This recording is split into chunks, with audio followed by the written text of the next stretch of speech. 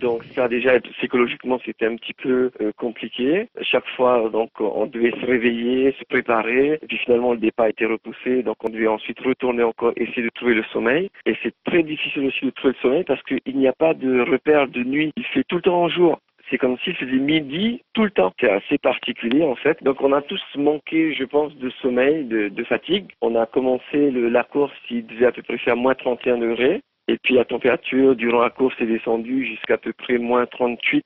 Sinon les conditions de course, on va dire, euh, il y a eu du vent, mais honnêtement, de mes courses que j'ai connues, je pense que c'est la plus difficile parce que nous avons eu un parcours, on va dire, chaotique. Donc euh, c'était un sol complètement irrégulier avec donc parfois des profondeurs qui arrivaient jusqu'aux genoux.